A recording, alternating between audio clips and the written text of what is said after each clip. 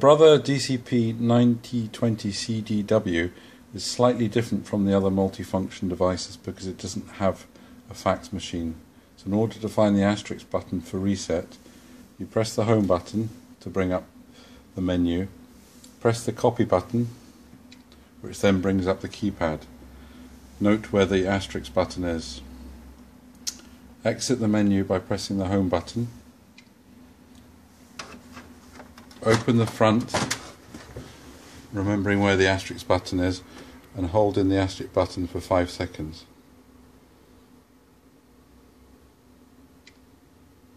This brings up the reset menu, which you can now lower the, the top again. And there's various options there for resetting the various toners, so you can reset standard toners, high capacity toners, and starter pack starter toners. So if I select one of them, will ask the reset whether you want to reset it yes or no. And then you can return back to the main menu after you've done the resets you need to do